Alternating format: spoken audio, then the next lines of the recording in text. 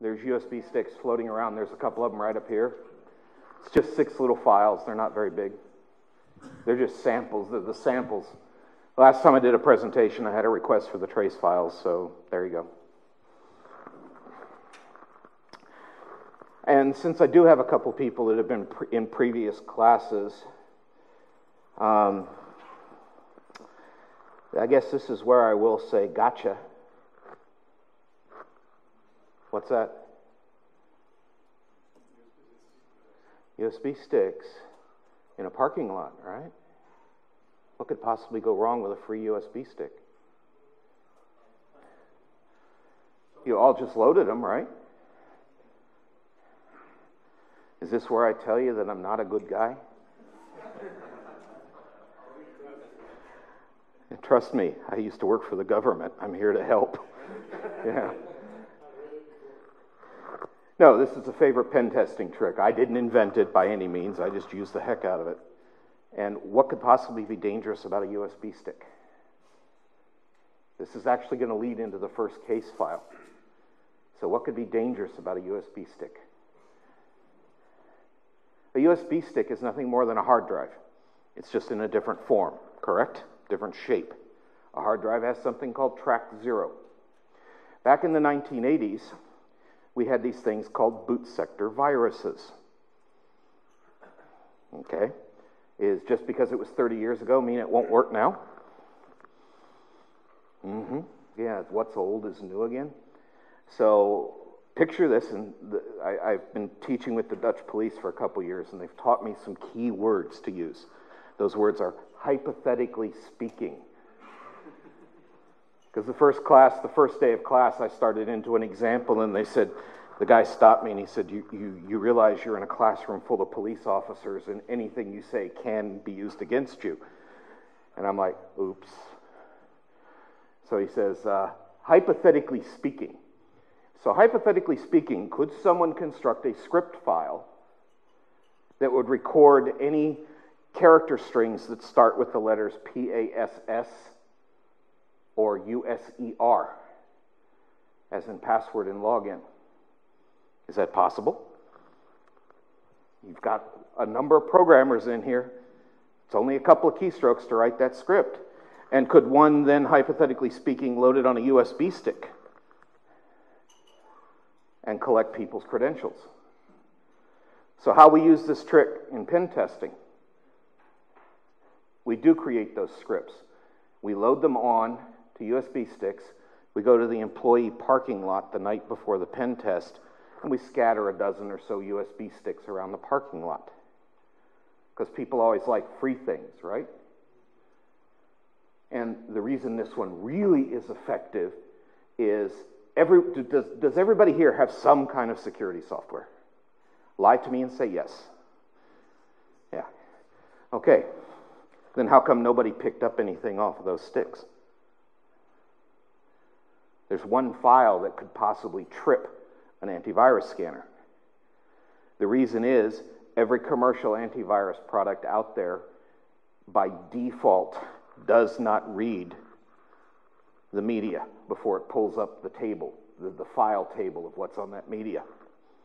You can set your software to do that. So, why on earth wouldn't they do it by default? Why would they not scan the USB sticks by default? Because it takes a whole extra 20 seconds. And everybody wants everything fast, don't they? I see a couple people typing on their keyboards. How many people are now looking for that feature in their software? I recommend that you look it up. But the sticks, well, let's put it this way the sticks were safe when I put them on the table. What they may have picked up on someone else's computer, I'm not responsible for that one. And by the way, what the script file does at, at midnight, it's pre programmed to email your credentials back to us. And then the next day, we hand them in to their people with a video clip showing their own people picking up the sticks and walking in the building. So, most pen tests, they, the target usually fails the first morning. They just don't realize it. And this has just been in the news. I saw this recently. This, this trick was in the news. It's like, come on, man, we've done it for 15 years. All right. Does that satisfy those of you that wanted the horror show? Okay. Because you're right. Normally, the presentations I bring up are all of the horrible, nasty things that can happen. Because that's the area I work in. 30 years ago, I started out with Laura and Betty and the like. We all started out together in Sniffer University. So we still do tons of packets. I still teach troubleshooting classes. I was just in Germany a couple weeks ago with a, a company troubleshooting a video problem. But my main, my main area of focus is network forensics, which is nothing more than taking packet captures and asking different questions. Same stuff you guys do. All right, so as I said before, trust me, I'm here to help. I love that graphic, so I sneak it in anywhere I can. How many people recognize where that character is from? Long before Jim Carrey did The Grinch, The Grinch, there was an animated one on TV back in the 1960s, and that's where that's from. That's the one most people expect to see there, you know, the usual ransomware screen. All right. So here's the things we're going to look at. How many people have heard of UPnP? What is it? Plug and play, yes. And its uh, intention is to make it easy. You plug something in, right? Well, guess what? That was the exact thing you used with the USB sticks, right? Detected hardware, accessed it, and read it.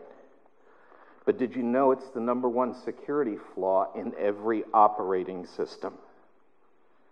Just completely idle security question. How many people here are using Windows? How many of you are using Macs? I saw a couple. How many are Linux? Okay, which one's the most secure operating system? Windows. Wouldn't be the one I picked. I'd have picked answer number four none of the above. Windows gets beat up the worst because it's the one that most people use, right? Part of the reason is very simple. Go ahead and load the first file. Case study number one, it says baseline UPnP. Go ahead and load that one up. Now, one of the secrets I teach in whether troubleshooting, forensics, or whatever is how many people keep a baseline library? How many of you have samples of normal traffic? One, two, couple. All right, that's indispensable. For example, there are over 6,000 application protocols out there. Anybody here know how they all work? Don't look at me.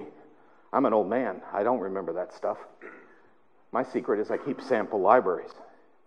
Hence the name of that file, baseline UPnP. That is an example of a normal trace file because if you don't know what it looks like when it's working correctly, how are you going to troubleshoot it? How will you know for sure when it is not working correctly? So, baseline or reference files, they go by different names. And here, and by the way, this presentation will be posted, is where to go to get some of the samples. The first choice there, look at it. Right there in the own Wireshark stuff. How many people have gone to wikiwireshark.org? Oh man, the first thing I show my students on Monday morning is that website.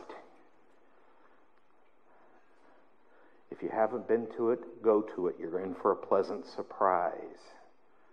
Because everything you want to know about Wireshark, plus about two or three hundred other tools, sits on that website. And one of the very things at the very top, it's like the third thing down, is an archive of about 300 sample captures. Check it out. Good place to go.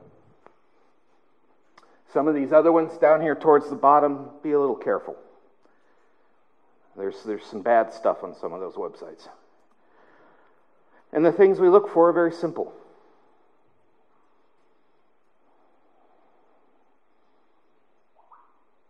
very simple things to think about if you realize, if you stop and think. These are the same things you look for when you're troubleshooting, aren't they? But it comes back to my point. How do you know when something's strange if you don't know what it looks like correctly? For example, what port does HTTP run on? Port 80, TCP or UDP? TCP. What runs on UDP 1900? Well, actually, no, HTTP. How many people knew that? Ah. Guess what you would find out? Let me jump over to it. Take a look at that trace file. The one you, I had you just open. Look at the port numbers. What port numbers are they? UDP 1900. Open up the packets. I bet they're HTTP.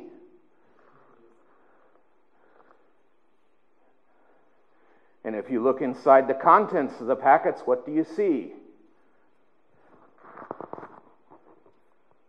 UPnP, plug and play. It's its own standard. They did this to us a couple years ago.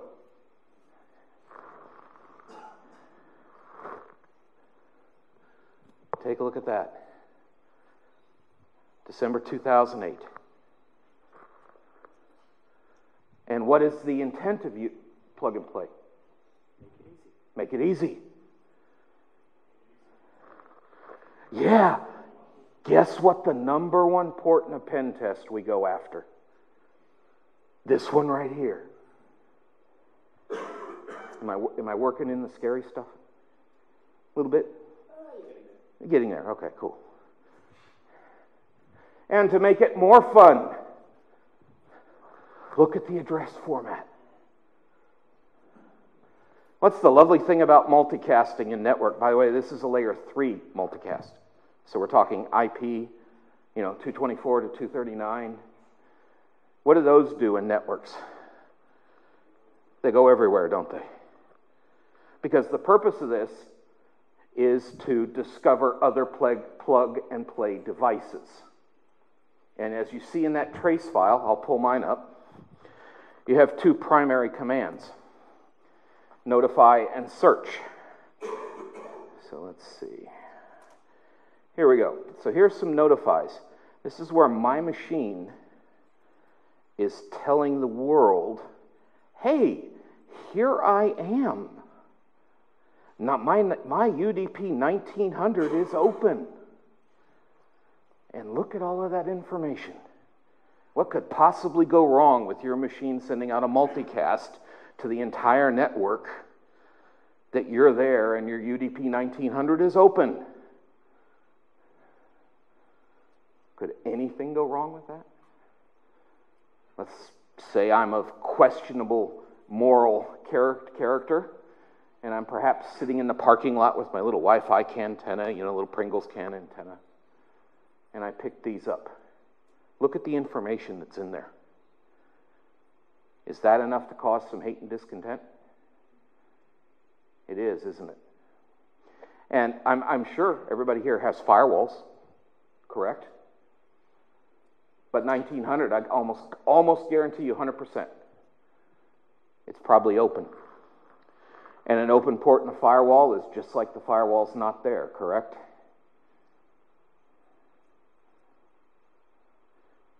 10 minutes ago, how many of you guys knew this existed?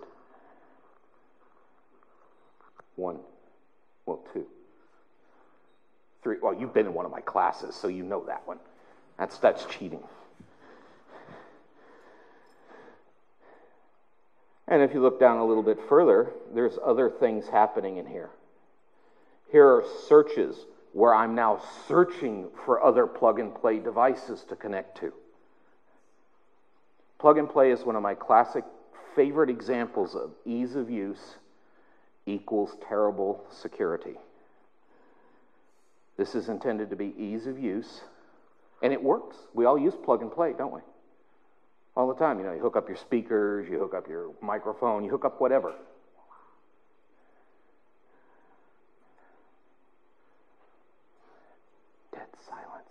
of it. What's that? Plug and play. Plug and pray. Yeah, okay, there we go. Yes, I like that. I like that. I may use that in another presentation. Plug and pray.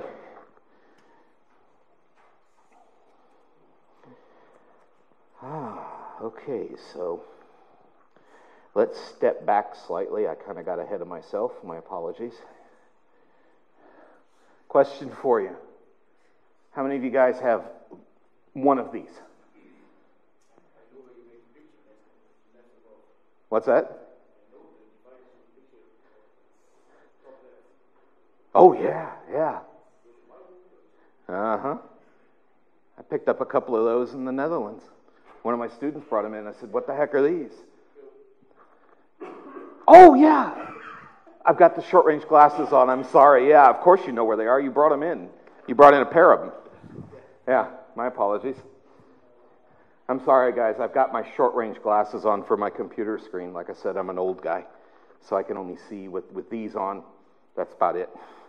Everybody else out there is a blur. All right. Uh, that Barbie doll. That caused a bit of a sensation here in Europe two years ago, didn't it? Why? What, what could possibly go wrong with a Barbie doll? Roland? I think it had a connection back to the manufacturer. Yep. And it was collecting it was collecting information. And anybody have one of these? I, I, I don't have one because my wife says, oh, hell no, there's this thing called a vacuum cleaner. It's hand powered. I just want one because I see all the cool cat videos of the cats sitting on the little Roombas going around the room. But there was a couple of recent exploits that made the news about these things because there's now one that's Wi Fi enabled. And um, surprise, surprise, it has no password and no encryption runs on 2.4 gigahertz. Gee, what could somebody do with that? Download the floor plan of your entire house from its memory bank?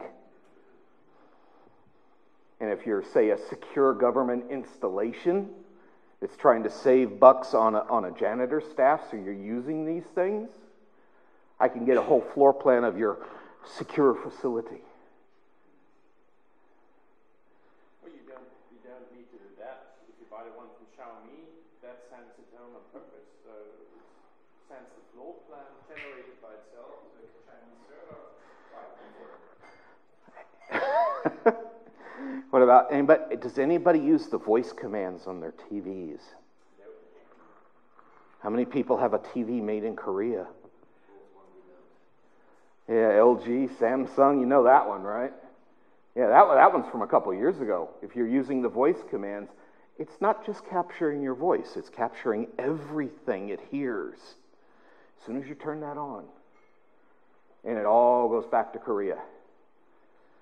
So think of some of the things you may be doing when your TV's turned on and think about them going back to Korea.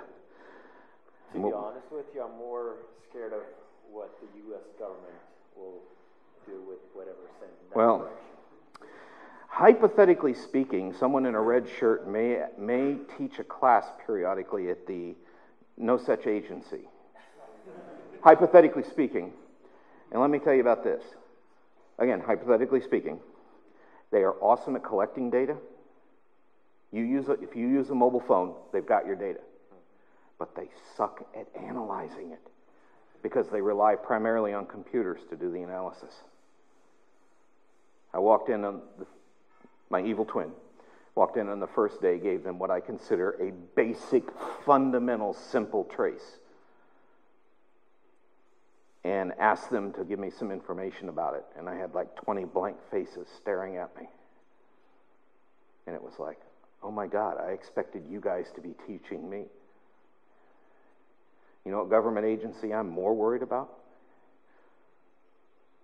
You're, you're German, correct? No, Norwegian. No, oh, Norwegian? Okay, cool. Cool. You guys have some good people. Trained some of them through NATO. Ah, the Dutch government. They have this cool gray building in Zoetermeer. Anybody know what that building is? Four letters AIVD. It's the Dutch Intelligence Service. They are better than any other government agency I've worked for, on the record or off the record, at collecting data. Because what news story was in the news back in March? Concerning our, our comrades? They were hacking into the video streams of CCTV cameras and watching the video, downloading the video from the Russians, from inside Russian embassies. That's a pretty cool trick, isn't it? Yeah. And unfortunately, somebody leaked it to the American news, and the American news promptly went public with it. And some angry emails started showing up in email boxes going, Do you know anything about this? And I'm like, No, not a clue. What are you talking about? And I turn on the news, and there it is right there on the news. And suddenly, all the IP cameras went dead. All those cameras that for like a year and a half, they were pulling all this data and running it through facial recognition all of them suddenly got switched off for some mysterious reason. Yeah. The two best countries in cyber war, well, three if you count the Netherlands, are probably South Korea, Israel, and I put the Netherlands about number three. I put the U.S. at about number 10. All kidding aside. Russians would be roughly on par with the U.S. They're not as good as the press makes them out to be. The Chinese army I would put higher simply because they have manpower on their side. They will throw raw manpower at a problem. I mean, they got 20% of the world's population.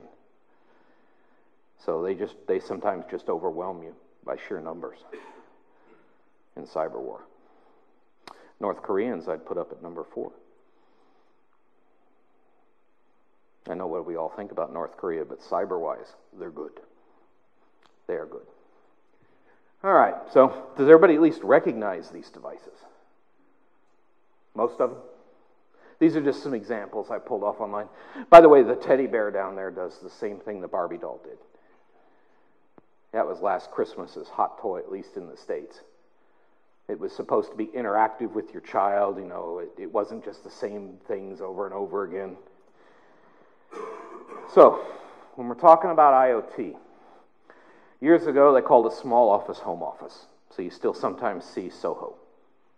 These are a few of the Internet of Things technologies. You probably recognize a few of them. And what, just briefly, what's our big problem with Internet of Things? I mean, why are we here? Why are we here right now?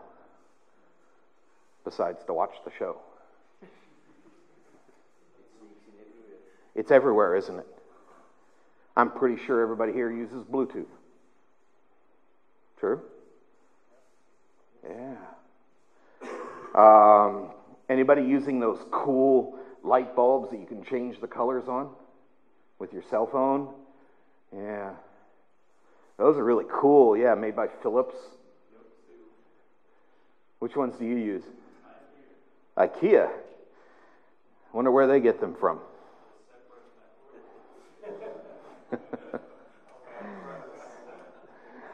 yeah, it turns out there's two versions of the Philip, the Philips software that most third party people just license it, change the name on it.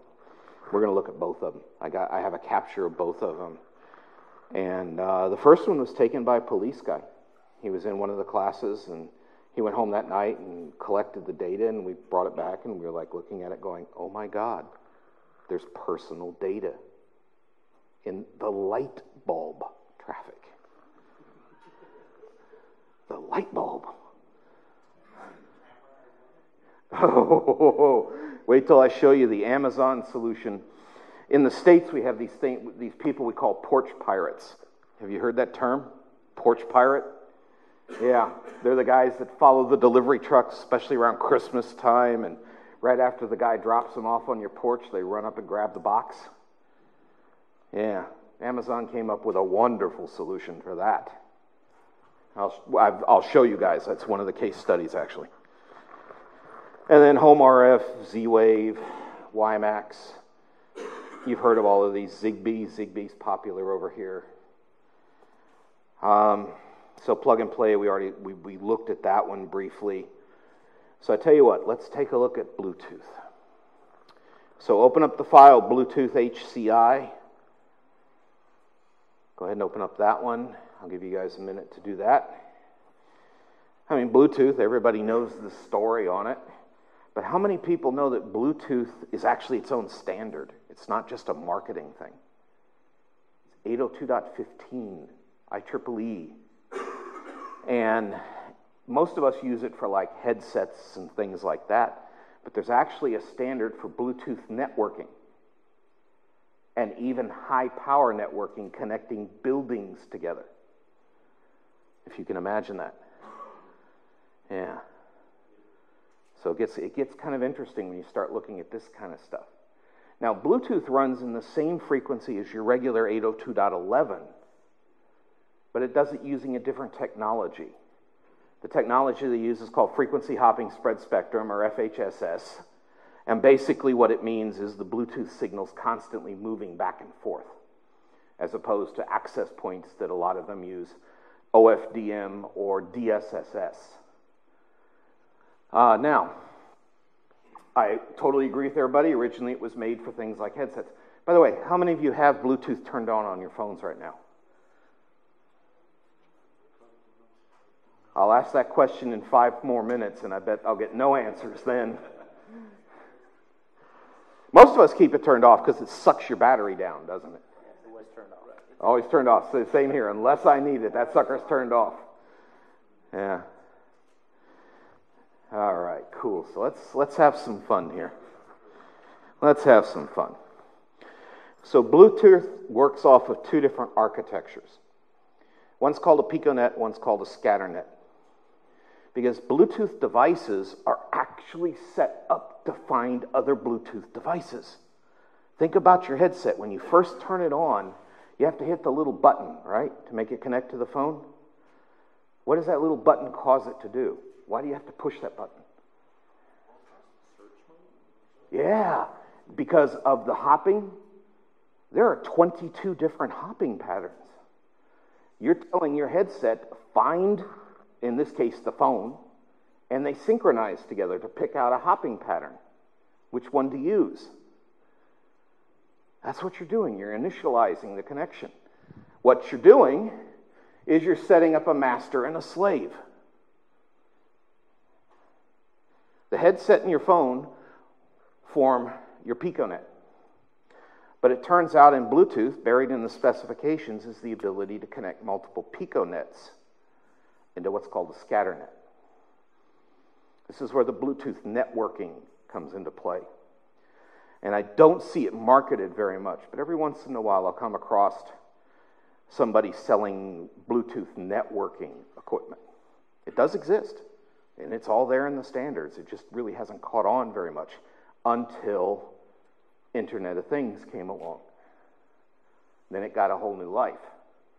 Just think about it it's low power, small form factor, which makes it perfect.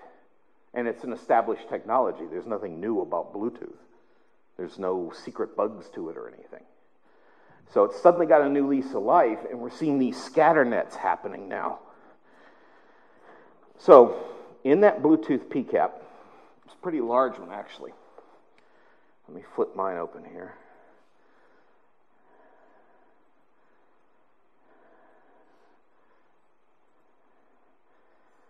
So, what you're looking at here, the first 20 or so packets are nothing more than the units negotiating. They're negotiating their connection. And so, if I want you guys to take a look, for example, at packet number one, this is where it's, it's sending out its information. So, I'll, I'll pull that one up for you full screen. So, take a look at this. I mean, most people have never seen this information before. Now, unfortunately, this isn't a wireless class. We're not going to have we're not going to have time to go through what all the fields mean. But what I want you to get, what the idea I want you to get in your head right now is, is that encrypted? No. Now, there is a mode of encryption in Bluetooth. You can use it has kind of like it's roughly kind of like an SSH type encryption, so it's not very robust, but it's not usually enabled by default. You have to use like third party software to run it.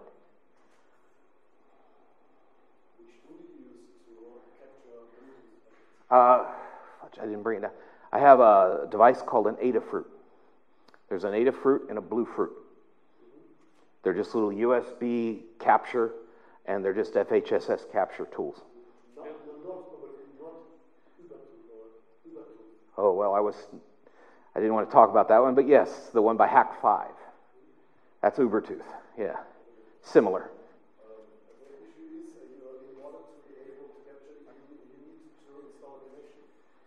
Um, not with the blue, not with the Bluefruit. It just simply, it's a passive collection device. It scans the Bluetooth patterns. Yes, normally that, that, again, the synchronization, that's actually in this trace, that's about the first 30 packets, is the synchronization happening. Yeah. Yeah. Yeah, the different tools are made for different functions. I even have one on my cell phone that will capture Bluetooth data flowing to and from my cell phone. I don't like that one though because it doesn't display the Bluetooth headers, it just displays the payloads. It puts those pseudo payloads, kind of like capturing Wi Fi on a Windows machine. Yeah. Yeah, if you want to, if you, uh, I, I'll have it down at the booth tomorrow. I'll bring my pouch of Wi Fi toys down tomorrow. And they're, yeah. But there you go. I mean, nothing, nothing fancy. I was actually surprised um, that, that it worked, and it worked so smoothly. So you see here, you can see, for example, they're setting features, they're negotiating. And if you look at the times, this is all happening very, very quickly. It's a handful of seconds. So we're not talking a very long time. About four and a half, five seconds, and the connection is set up. Now, where this comes into play for us, and here's why I was telling you guys to turn off your, uh, your stuff. How many people have those wristbands, the Fitbits? One? Oh, come on. Nobody else? Oh, oh, okay. Yeah, yeah, all right. Yeah, two. Does anybody have the bathroom scale? This was the picture that freaked that guy out because he's got that scale. You got one? Well, cool. Take a look at what it's giving away, man.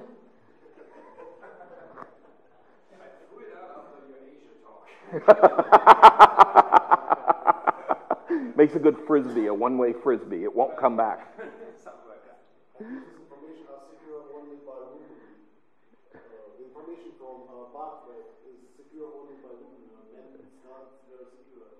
Well. Okay, there you go. Yeah, that, that, that one I agree with more. Yes, definitely.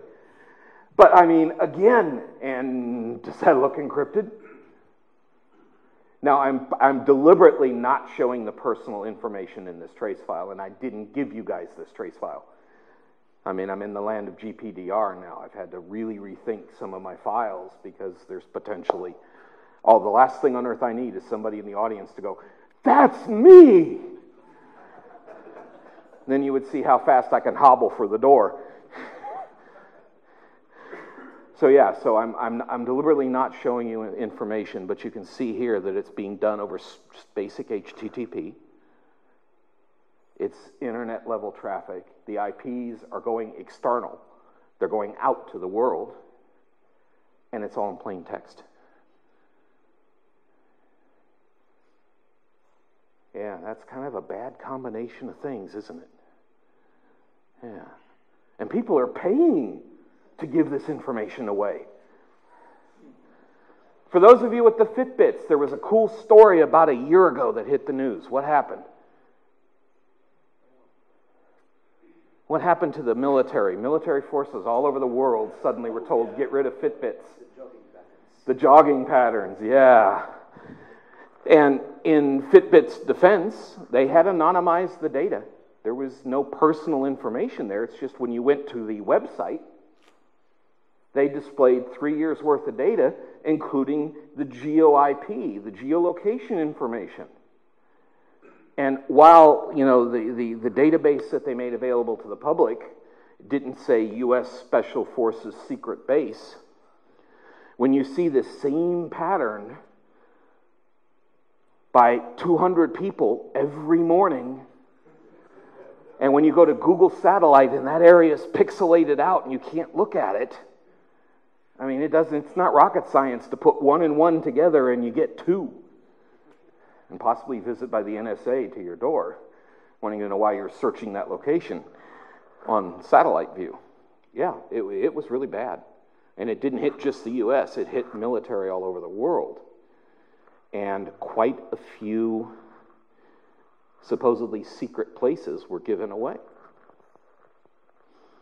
by Fitbits.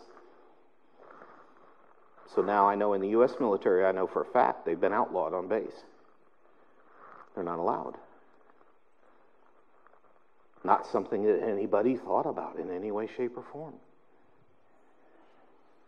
Yeah.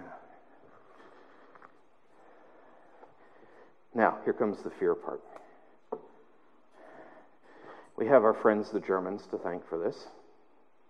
It's one of the first two Bluetooth exploits. This one goes all the way back to 04. It's called Bluebug. There are databases online that if I can identify the model number of your phone, I simply go to that database and it will, it will have the instructions on how to compromise that phone and turn on the Bluetooth. How could that help me?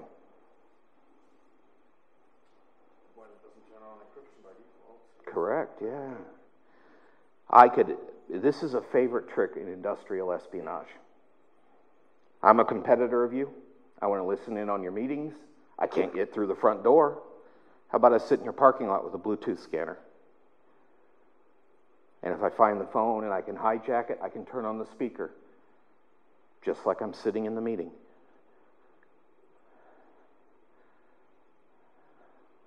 Kind of cool.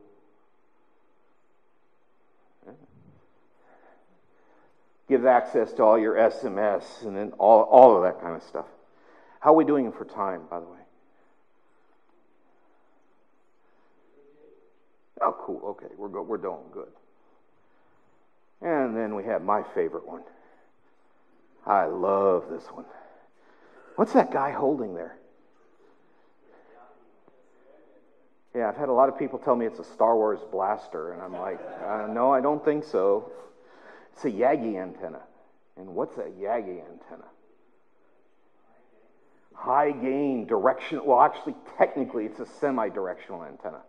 There's actually omnidirectional 360, semi directional, which are a specified beam width, and then you got the directional ones that only go for a very narrow beam width. Technically, a Yagi is semi directional, but at this point, who really cares? All I care about is it's pumping 14 dB worth of gain into that signal. And if you know your RF math, 14 dB is a lot of horsepower. That is a lot.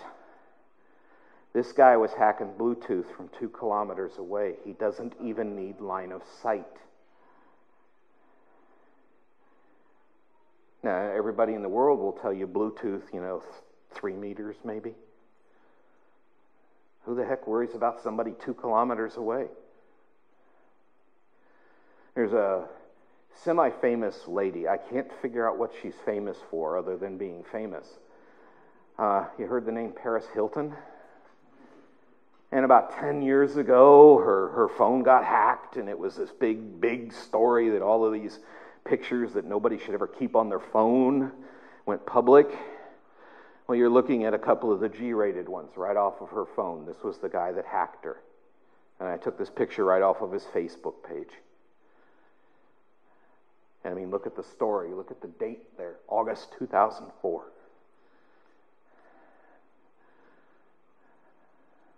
And again, it relies on the fact that the initial connection when you're synchronizing is not encrypted, it's not protected.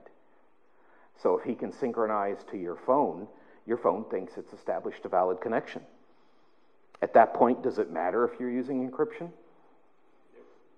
He's got you. Now, that does underlie a fundamental flaw in the internet. How do we do, how do we apply security to our traffic? Sorry. We throw it on on top at layer 7 with SSL, TLSV, you know, pick your, pick your encryption, right? Trust. Yeah.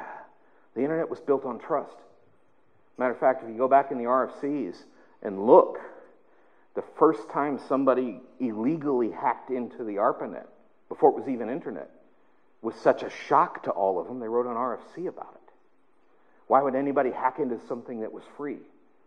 All you had to do was get a login. Now, when we came to Wi Fi, we did it a little bit better.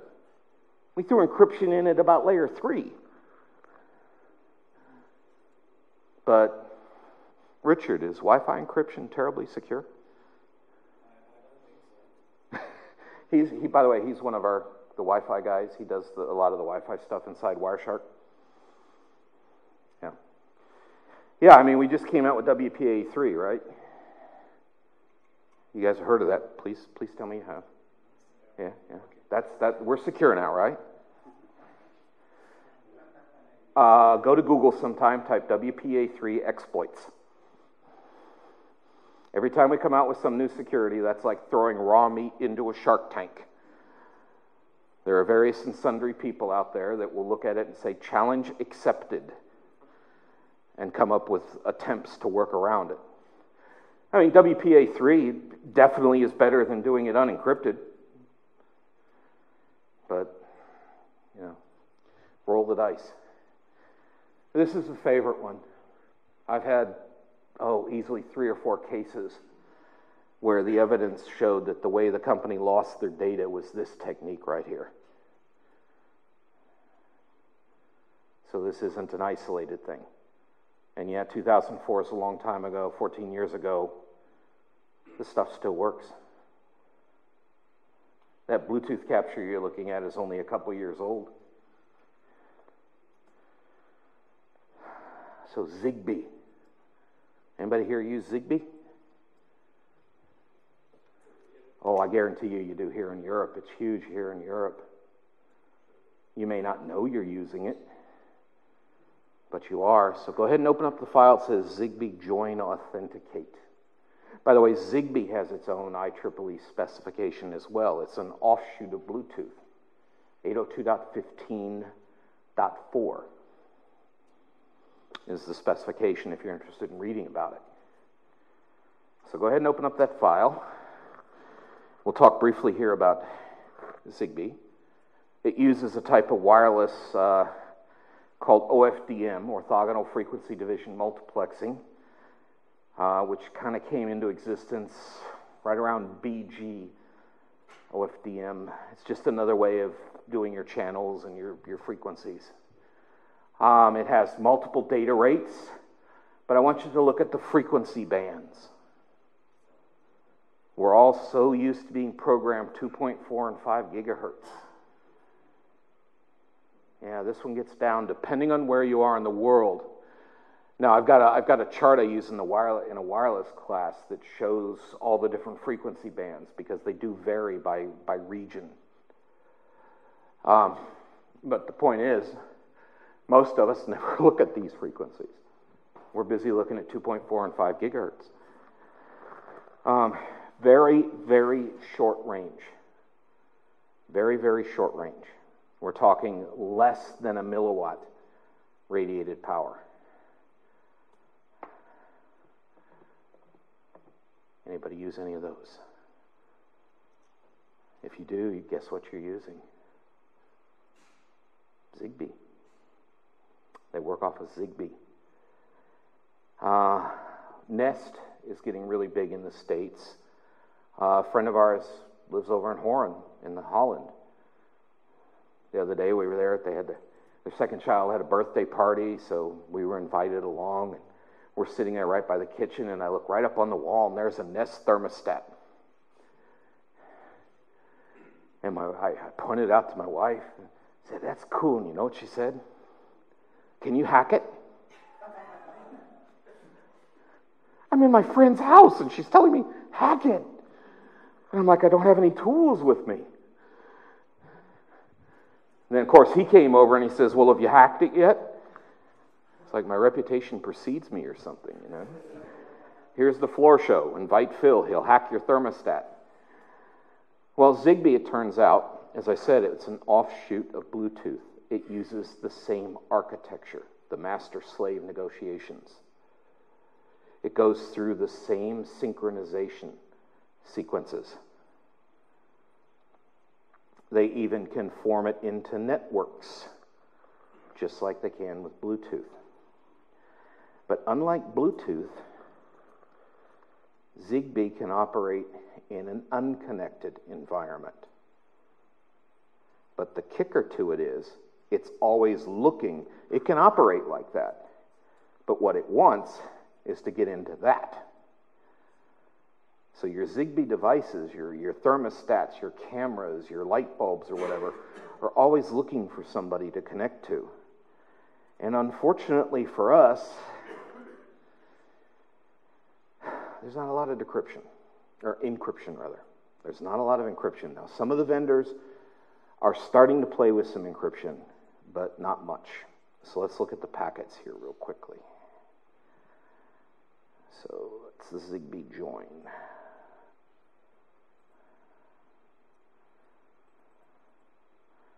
So here, what this is, this is a Zigbee, and it, the data has been sanitized. So some of the information has been removed. So it's, this one's free to hand out to anybody. This is a Zigbee device connecting up, locating and joining an existing Zigbee architecture. So if you're using any of the Nest equipment, the thermostats, the cameras, they make all kinds of things. They make door locks now. There's uh, have you guys seen any of the IoT commercials? There's been a lot of them over here in Europe about Internet of Things. Yeah, let me see if I can get this to play. I got this one the other day. It's hysterical. There are times when using, uh, just because it's new, maybe is not a good thing to use it for. I don't know how well this will play. Of course, no, no audio. But there you see our, our guy using all of his high tech stuff. Unfortunately, the projector doesn't have speakers, so there's no sound to this one. Everything's voice command, so it's nice and easy to use. What could possibly go wrong?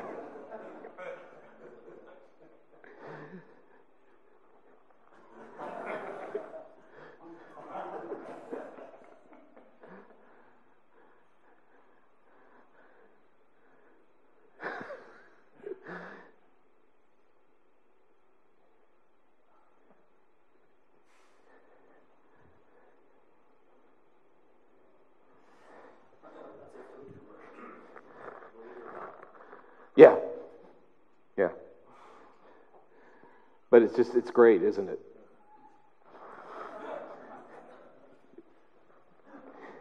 Now, my, my, my favorite one that shows Internet of Things vulnerabilities is a Dutch commercial. There's this big IT guy, his whole house is set up. He's, he's up on stage demoing how he can unlock the gate and unlock the door and turn on the stereo. Well, unfortunately for him, there's this team of crooks standing outside his gate trying to figure out how to get over this big tall wall that he's got surrounding his house. Then all of a sudden the gate opens. And they're like, okay. Through the gate they go. Then the front door of the house opens. And into the house they go. And they're like looking around. There's all this artwork and everything. And then suddenly this big 70 inch plasma TV comes up out of the stand.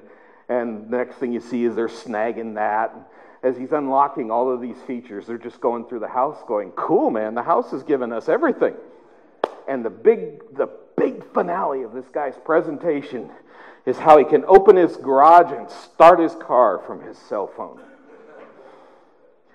So the commercial ends, you see he's up on stage, everybody's on their feet applauding this fantastic new technology, and you see the crooks driving off into the distance with the TV, the stereo, and everything piled up in this guy's like 200,000 euro sports car that he obligingly started for them. I love that one. Okay. So this is Zigbee operating normally, doing everything okay. But if you notice, you've got a couple of other files there.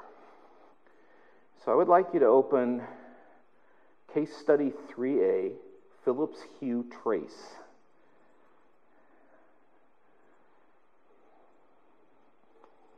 So go ahead and open that up. It's in one of the ones you've got. Very small file, it's only 26 packets. And this one was taken by my police friend.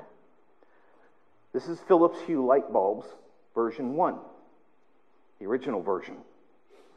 Look down in the payload. Notice again it's using that SSDP, short session description protocol. That's the workhorse for IoT and VoIP and video for that matter. Look for where you see the word dead beef.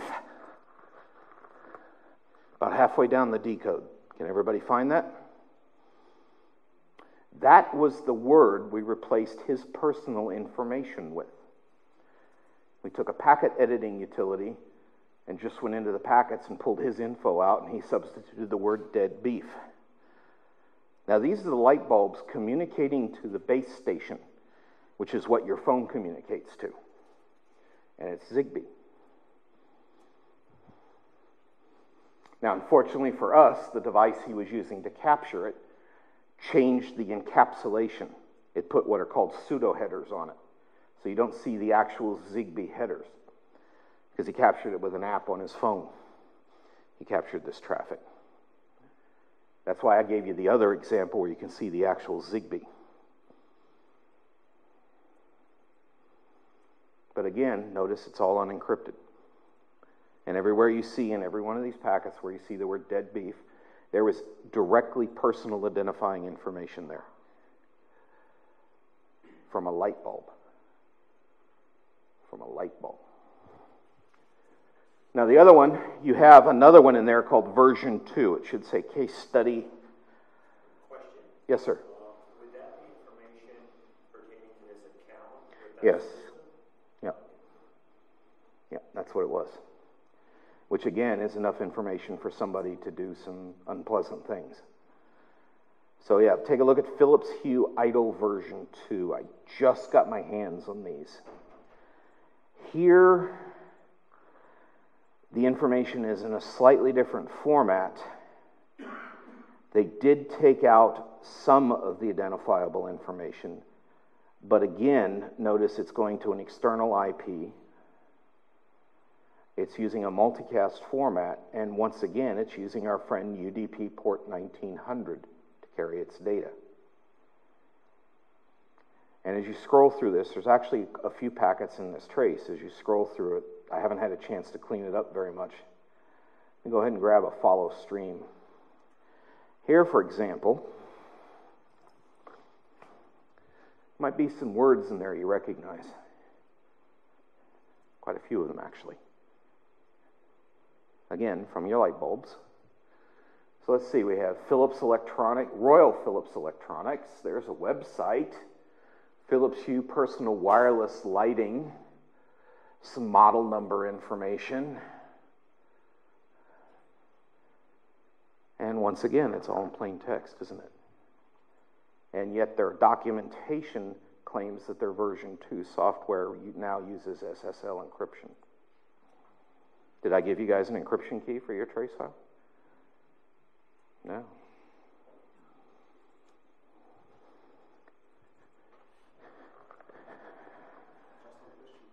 Yes.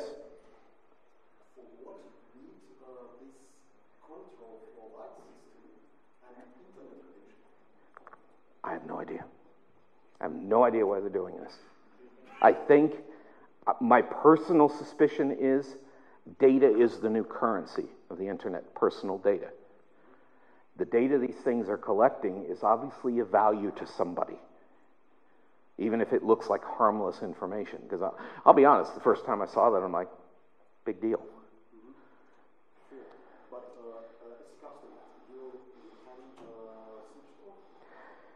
Um, well, I have a set of these sitting in my lab. I haven't gotten into them yet. I had all kinds of cool toys piled up in a stack to play with. Um, but according to the documentation, I don't see any way to turn this off in the, in the lovely little PDF that came with it. Yeah. Well, it, it very much depends on which manufacturer you get. If you data display to the world, you get Philips. Um, if you want to have a little bit more security off the bat, but I explicitly say a little bit, uh, IKEA would be the one to go because they, for whatever reason, decided not to open the protocol and uh, open to the world the protocol and don't transport the information. So they use a proprietary. No, they use the Zigbee standard, but they don't use a gateway device. So Ah. they keep it strictly in the house. The only thing is, if you buy their gateway, then it connects to the internet to see for firmware updates. But you can easily set in between the traffic, and you see it just connects to see the firmware traffic, but it doesn't uh, submit this uh, this uh, communication in regard to when you turn on the lights on and off and so on. But Philips Hue does it all the time. So if you really want to do it, and if you really want to be get your house displayed on the internet, you go with a Chinese manufacturer. Oh, I got some, some, some of that coming up. Xiaomi is. I mean, you can install a live webcam on your house. It will be easier for you. Do you know who owns that company? Chinese? It's a sub- I think it's a subset of the Chinese military. Yep. Chinese Army. Yep. You didn't know you joined the Chinese Army if you bought any of that equipment, did you? Yeah. Yeah, um, that, uh, that's an excellent point. I, actually, we've got an IKEA down the street. I guess that would be something interesting to play with and find out. Look at the Zachary, I, I, the Raspberry. That's what I'm using. I mean, it's it's still it's still Zigbee, and if you have to buy a 10 euro Raspberry Pi Zero W, and I think it's a 15 euro Zigbee Shield, and you still can sit in front of your house and look at all the data. Zigbee by its, its definition is not very secure, but at least the website doesn't. At least it's not harvesting easy to read data. Ah, wow. So let me catch up the slides here. So we got into the Philips Hue, good old follow stream, pulling out serial numbers, model numbers. And then here's my favorite. This one was done in Paris here recently, just this past year. There were several well known Zigbee exploits that were released. And what they did is they put a little generator on a drone. It was playing out using Zigbee, playing the string that triggered the exploit. And basically, the exploit, about all it could do is turn the lights on and off. They just started flying it down the street to see which buildings they could turn the lights on and off. Notice the logo. You can see the lights flipping on and off. It's, it, it, it's really hard to see, but it's, it's the drone flying by the buildings. They just flew it down some streets in Paris and video recorded turning lights on and off.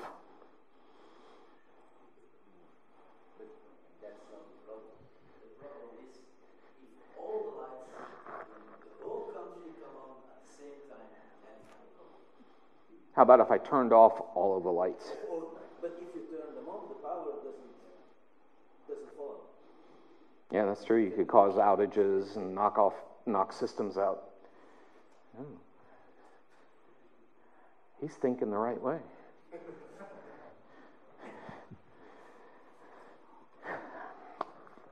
So this one was an internationally published study. Zigbee, of course, uh, went. The Hue's people went nuts, and uh, but when all the the uproar died away, the vulnerability still hasn't been fixed. Yeah, things you can do with drones. So here we go.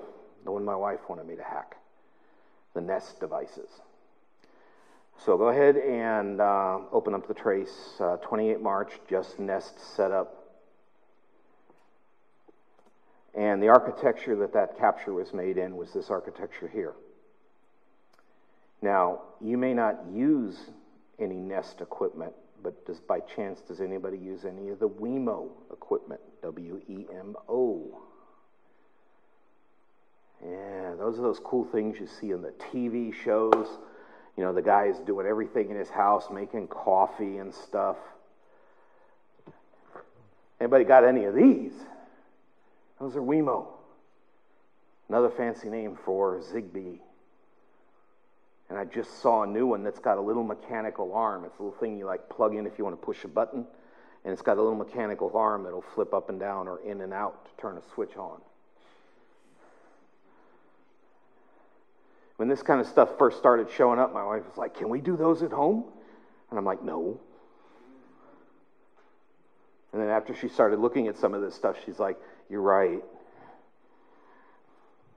But one of my favorite, you guys know the show The Big Bang Theory? Know it or at least heard of it?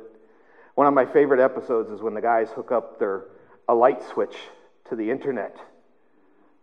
And they wait to see who on the internet's going to discover it. And then you suddenly you see the lights blinking on and off. And it cuts over to China, and there's two Chinese guys dressed just as nerdy as the Big Bang guys, 12,000 miles away. And they're going, wow, what a bunch of nerds. And they're busy flipping the lights on. And then the guys in the Big Bang discover their light switch and start flinging it back up and on. And they think that's really cool that they're turning each other's lights on and off. Yeah, these are some examples. I was actually, I, I, I dug these up during the previous presentation. I, I, just sat there and did a quick search for Wemo plugs, and I found them at Belkin, on Amazon, every kind of form factor. Wouldn't these be cool? I mean, don't, don't you guys think it's cool when you watch that movie where the guy's got everything in his house automated? Just don't turn on the door lock to be voice activated, like the guy in the previous video. Yeah. And I'll be honest, the geek part of me thinks this would be kind of cool to be sitting here in the audience and flip up, flip up the phone and turn the power off on my son. He's watching our house right now. Start messing with him course, he's really good at this stuff too, so that might not end very well. Yeah, that's, that's a war I really don't want to start. So, let me pull up my trace. And this is where we're going to get into Amazon's solution for the porch pirates. And I want to see what you guys think of Amazon's solution. So, again, here's what we're looking at. And if you look at the title of it, it does say something about number 54. Go down to packet 54. It's just a TCP SYN frame. At first glance, nothing looks special about it. Do a simple follow stream. And this is traffic I captured from a Nest thermostat in my lab. Now, in Nest defense, some of their traffic has a rudimentary encryption. But notice what you can see right there. Or what do you think this is here? MAC address, and there I have a model number. That doesn't look encrypted to me. I, I can't pick out too much more there. I mean, there's one or two other little tiny things here. So, what could I do with that information?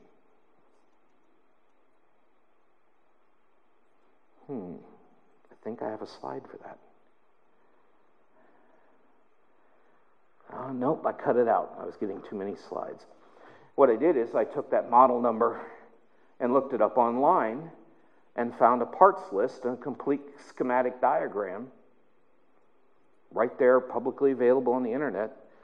They gave me the complete part list of all of the parts, including all the chips and everything inside that Nest thermostat gave me the diagram so I could essentially build my own. Does that sound like something you don't want people to know? If I can build my own and I can get the parts list, how difficult would it be to figure out vulnerabilities and exploits? Build my own little set of tools. Yeah. Yeah, that was just, it was kind of a little bit scary. You know, Amazon started selling this service. By the way, here's a couple, again, I just did these, I looked them up the other night. Here's a couple of known flaws. just for the Nest thermostats alone. These are a couple publicly known flaws that haven't been fixed. So, good old Wemo. A couple more, couple more flaws there. You have a Wemo PCAP, but here you go. Here, Amazon to counter. They came up with a couple of different ways to counter package theft. Uh, one was, and I, I like this one the best of them, they have set up these secure lockers in all sorts of locations, and you can actually have your package delivered to the secure locker, and then you get a, a one time PIN that will open only that locker. So that I, I thought that one was kind of cool. But here's the solution they tried to market and charge people a couple hundred dollars for. Read the slide and see what could possibly go wrong with this one.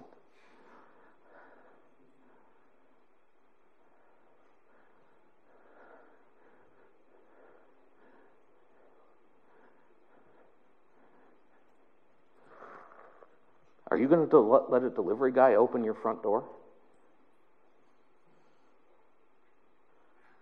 And what, how it's supposed to work is when the guy scans the code on the barcode on your package, it turns on the camera.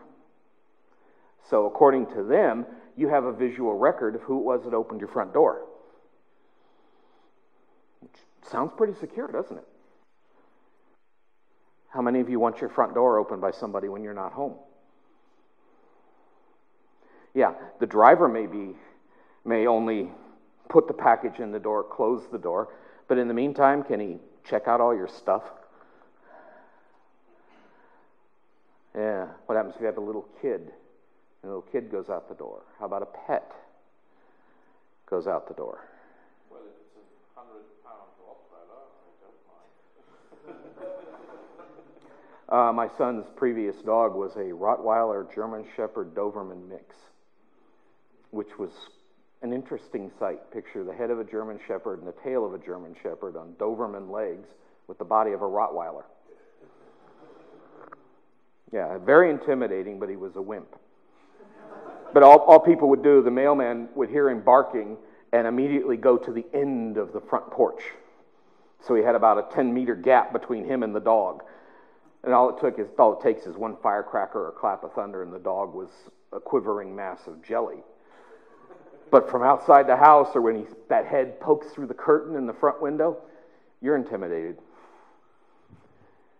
Yeah, so the day after Amazon released this product, in Wi Fi, we have this thing called a deauthentication frame. Anybody know what that's used for?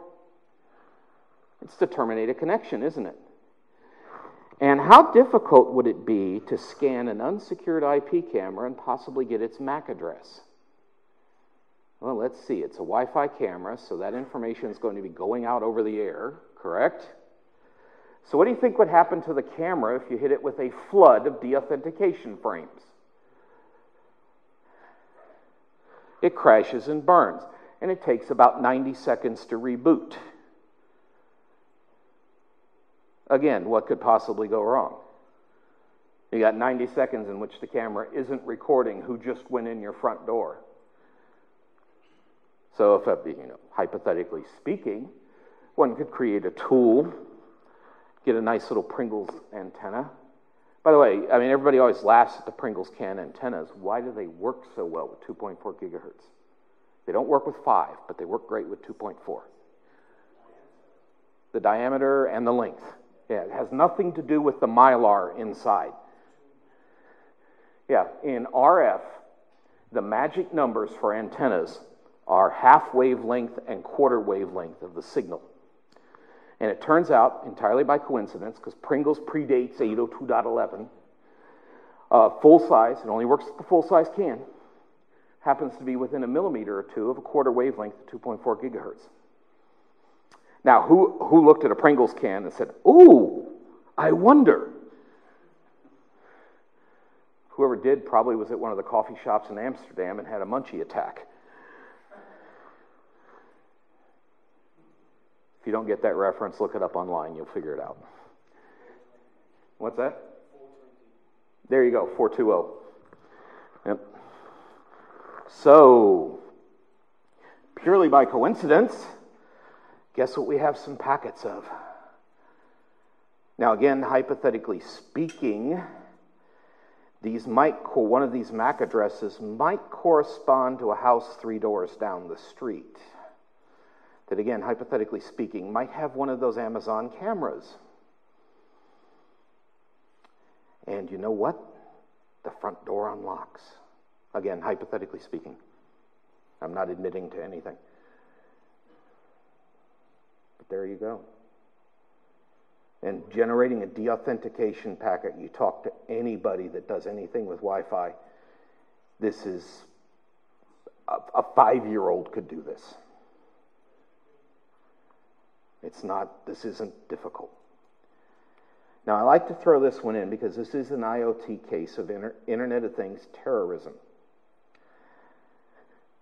Well, here's a clue. Here's Phil's crime tip number one don't do something like this to the neighborhood cop because he's going to have friends, especially if he works on the cyber squad. This did not end well for the person that was doing it. This was a big case in the States.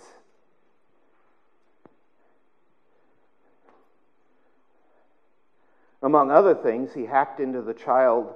Uh, for those of you that have babies, how many of you got a baby monitor to, to, to listen, at least listen in on the baby to hear if there's any trouble? Anybody got a baby camera? One of my business partners that's here with me, the, last night he was showing me his daughter tucked into bed, sound asleep. Well, they couldn't figure out why the baby, like a one year old baby, would be waking up two, three o'clock in the morning screaming.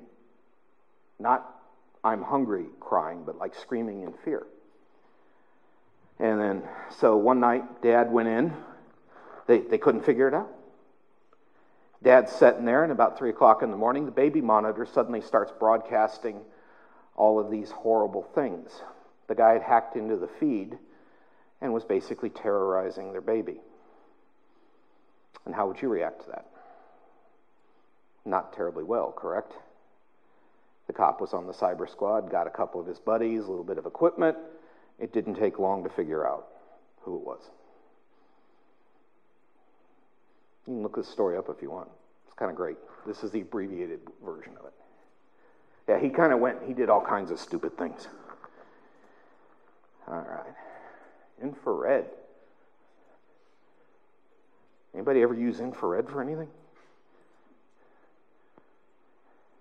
Anybody have one of the original Nintendos with the, the, the wireless controller that was only good for about a meter and a half? Because it was infrared.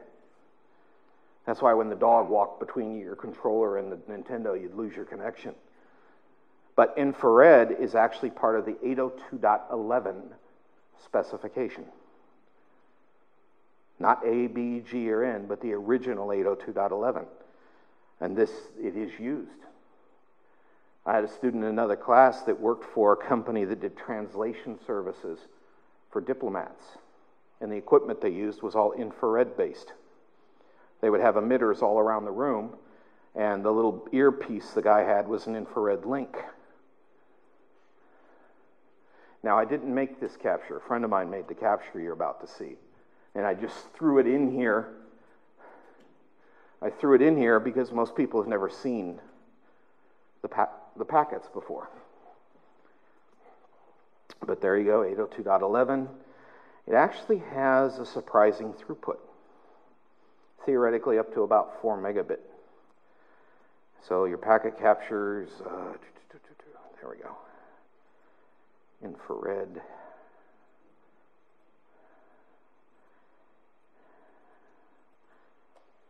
And there you go. And again, the interesting thing in this, again, is you're going to see it's pretty much plain language. Again, no encryption. Obviously, my buddy's name. Anybody want to guess what my buddy's name is? Yeah. So I just threw this one in there. Uh, I'm not aware really of any hardcore exploits, but again, unencrypted, right out there, well documented. So I have no, no question in my mind that there aren't, aren't some things that could be done with this, manipulated. Now, the interesting thing is, infrared networking is starting to gain ground in homes. Why? Why on earth would you want to go with a point to point line of sight linkage?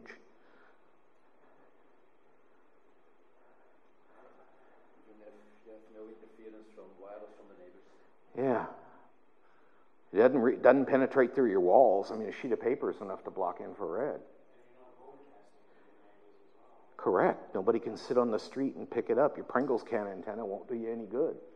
Might as well fill it back up with potato chips. Yeah. Plus, 2.4 and 5 is so overloaded. Everything in the world runs in the ISM bands, doesn't it? In the unibands. It's because they're unregulated. I mean, they were set aside for people to play with. So this is starting to show up. They're starting to make equipment for home networking. okay. Ah. For those of you that have been waiting, here we go. Here comes the scary stuff. Um, botnets. Now, what on earth do botnets have to do with the Internet of Things? This is normally a problem in companies and governments. How many of you have heard of Mirai, which is Japanese for the future? Mirai was very unusual because it was the first large botnet built on Internet of Things IP cameras, TVs, baby monitors, and so forth. Yeah, and it was basically a prank, a college prank gone wrong. Now, what this slide is showing here, this was a test done in New York. That's Manhattan, the island in New York.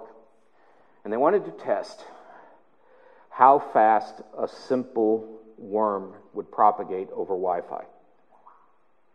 And it did nothing destructive. All it did when it infected a device, it sent out a single packet back to the creators to let them know the device was infected. 24 hours later, it erased itself. But look at the spread. That looks a lot like the spread of a disease, doesn't it? It's not by accident that we use terms like worm, virus, and so forth. And this was done from a single wireless device, the way it spread. I mean, look at the coverage after 24 hours. So, yes?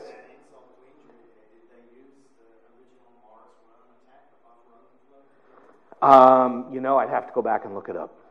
I don't remember the details, unfortunately. I've got a copy of the white paper on my machine. I could pull it up. Yeah, it, it was just a very simple garden variety thing. I think that's my coffee cup.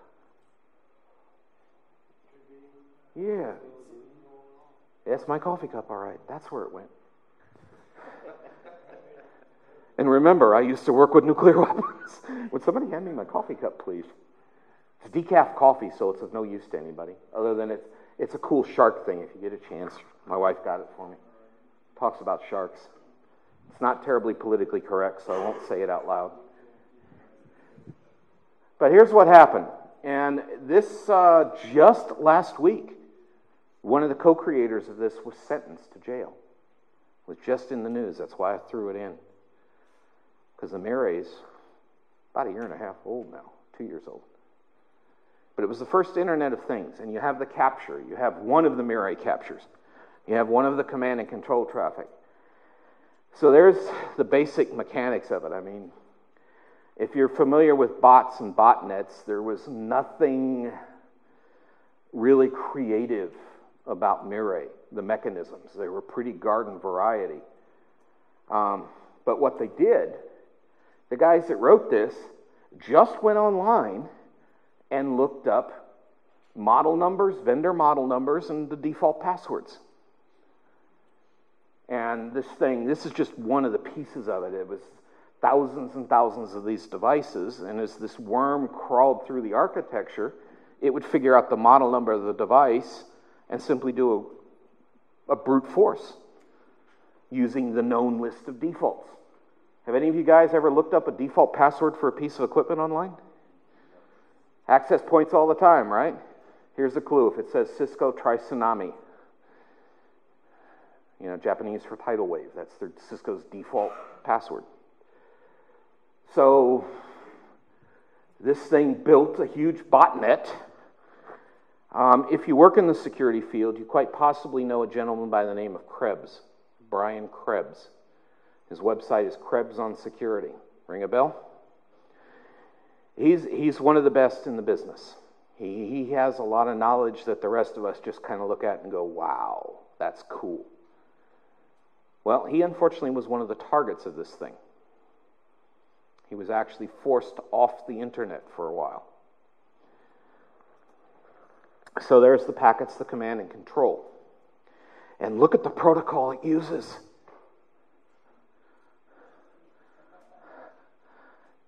Telnet. Bet you haven't heard of that one in a while. That's the first protocol on the ARPANET. October 29th, 1969 is the first recorded host to host communication using Telnet.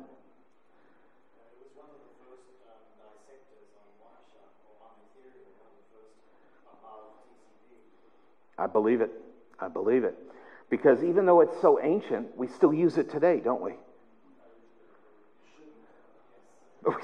Well, we use it because it's 50 years old and there's no secrets. There's nothing left undocumented about it. Yeah, I mean, if you have to get into a router or a switch and the GUI takes a dump, break out the serial cable, hyperterminal, and you're in, right? Well, here's a clue hyperterminal is just telnet. Yeah. You can do that too. Actually, a penetration technique is doing telnet to random port numbers. There's, there's, some, there's actually some cool tricks you can do with telnet. So, I mean, that's look at it. That's what it's using. You can, you can go through the trace file at your leisure and reconstruct stuff. But I want to show you that this one hit home personally. Mirai hit home personally to yours truly. I use a piece of medical equipment called a CPAP machine. Sometimes when I'm sleeping, I stop breathing. And this machine pushes a stream of air in to kind of keep me on this plane of existence. I'm not in any hurry to check out the next dimension. And when I got my new one, that's me, that's my fingers. You can see I bite my fingernails. It had a little Wi Fi adapter on the back. And I said, What's that? And he says, Oh, that sends data to the doctor.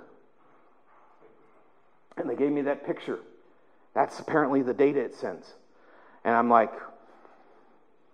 Gee, I don't know if I want this. And I said, What does he use it for? He says, Well, he uses it to, to adjust your machine. guess what went through my mind when the, when the guy, the sales rep is demonstrating how to use my machine and he got to where the doctor gets to adjust it over the, over the wireless? You can bet what my reaction was. See those fingers removing the module? Now, here's, here's where it hit home. If you go back to that slide that shows those brute force passwords, my piece of equipment was in that list.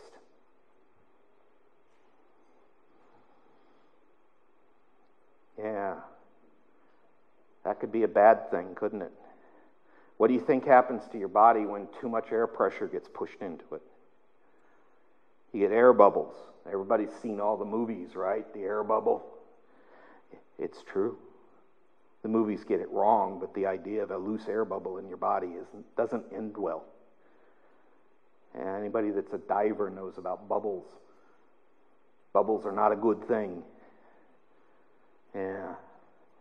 Um, another example. You're all familiar with pacemakers or insulin pumps. A lot of those are wireless now. Yeah. Guess where I'm going with this one? They're wireless so that if it has to be adjusted, the doctor doesn't have to cut you back open, which uh, that, that's a good thing. You really don't want to have to go back in and get cut open and stitched back up again. But what could somebody do with that? Last year in Amsterdam, there was a murder. They think it was a murder, though. They can't prove it. Because the guy's pacemaker suddenly stopped. And he fell over dead. But when they took the pacemaker out of the body and sent it to the manufacturer, it was working perfectly.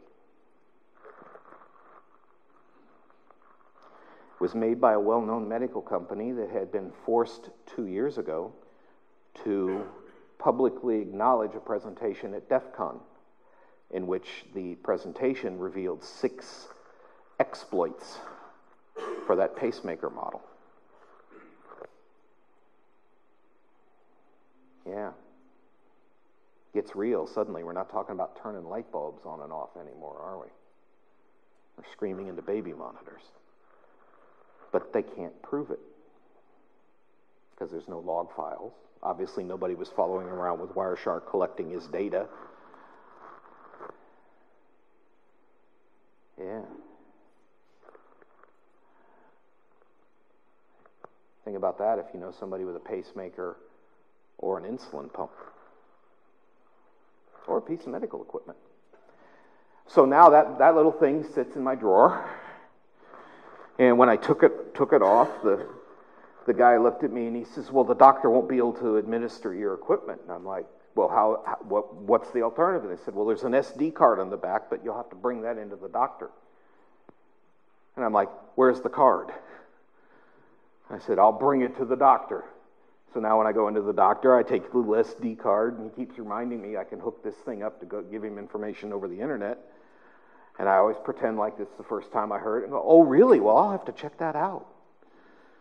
Meanwhile, this thing's sitting in the bottom of one of my junk drawers. Yeah.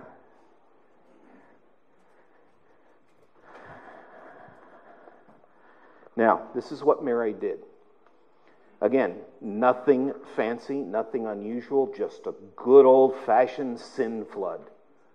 But if you remember the statistics, imagine how many SYN frames 14 million devices can generate. Brian Krebs was the first target of Mirai. The three college students that created Mirai unfortunately lost control of it to another hacker who redirected it to a little company in the United States called Dyn. D-Y-N. Anybody heard that name? They knocked out the internet on a good portion of the United States. So, for about a third of the United States, for about 24 hours, you had no internet because it targeted Dyn controls the root level DNS servers. And if you know anything about DNS, what happens when the root servers go down? You get no DNS. And how many of us have the IP addresses of our favorite websites memorized? Yeah, yeah, of course, I got them right here, man, you know. Yeah, host file. Just like I'm, I'm, I'm, I'm pretty sure everybody backs up their data all the time, right? Mirai wasn't the only one. There's a few others, including this one who's still growing the Tor. I just heard about this one yesterday. And it's already at over 3 million nodes. These are all IoT. Oh, except the one for the Android phone and the Twitter based one.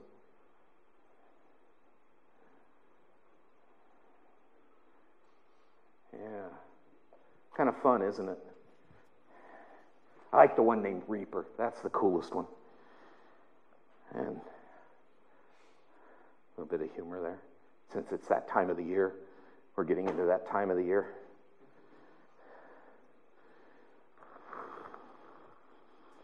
And one last question for you guys International Space Station should be safe, right? Got a nice air gap, 220 miles straight up. So, do you think they're safe? Now, that was the space shuttle.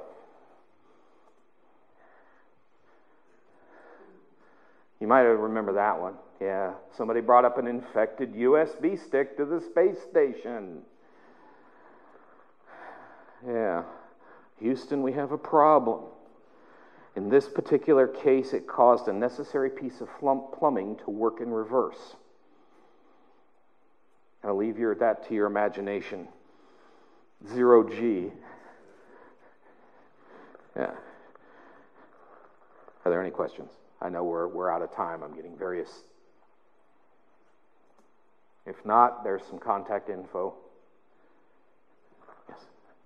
What's about industrial IoT? LoRa, narrowband? Oh God, I. That's a completely separate discussion. Uh, that'd be a completely separate one. Um, I will show you this again, and we're talking hypothetically speaking, since you brought it up.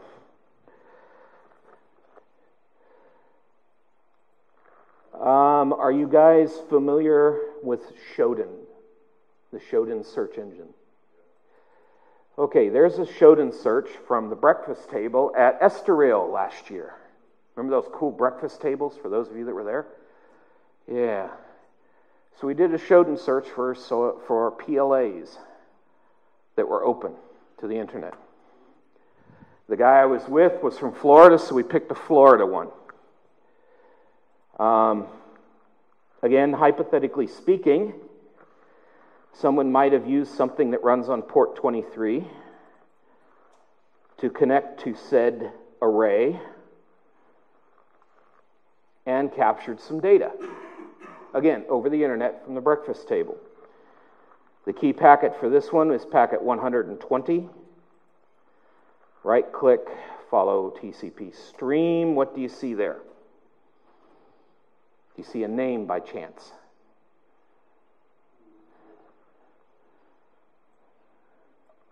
Right there. Want to guess what that is?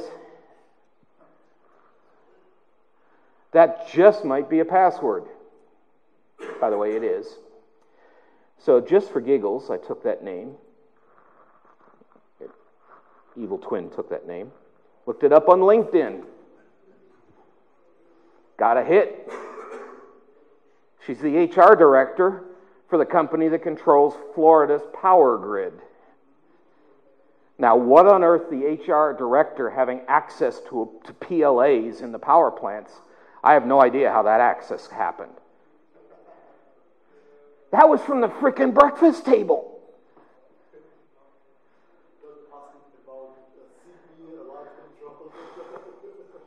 Nah.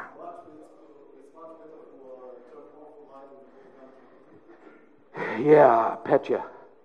Just on the side uh, to industrial IoT, I work for an industrial automation company. Uh, and about two weeks ago, I was at a conference where there was a discussion about um, what to do with the next generation. And I kid you not, the answer to should we use encryption or not was, well, we're gonna use TSN and OPC they're gonna use security to solve it for us. Asking those guys, maybe SSL, maybe not. I need to give you my business part, card for consulting services, man. Kerching. Yeah. The thing is, most industrial automation companies have no clue about network technologies whatsoever because it's not the same thing as industrial networking. Yep. It is a completely different, separate thing. So when they talk about industrial IoT, most of the guys I talk to are the sales guys, are the, the high-end guys. Yeah. The HR director. The HR director, maybe. Yeah. Anybody got one of these keyboards? Internet, if you're an internet gamer or hardcore, when you quite possibly do, because the keys are programmable. A friend of mine was playing around with Wireshark one day, and he saw some strange packets leaving his firewall. So he started tracing them back, and it turns out they come from this keyboard, which is a very popular keyboard on AliExpress. And look at that. There were keyloggers found embedded in the firmware. It's a Chinese program called Green Tree. Basically, any product made in China has this embedded into its firmware. It allows the Chinese army to open a back door to that device. Now, why on earth you'd bug a keyboard, I don't know. That's an IoT device. Yeah.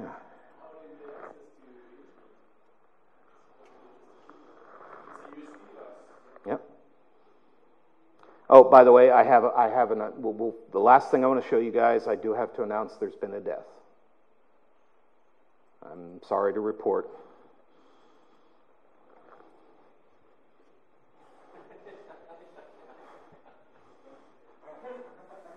Makes you think about all those emails you threw in your spam folder a little bit differently, doesn't it?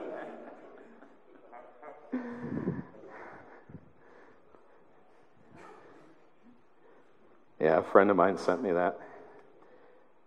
Oh, and for you RJ45 guys, what's that? That's a microphone hidden inside the shield of your cable. Gets power right out of the wires, yeah.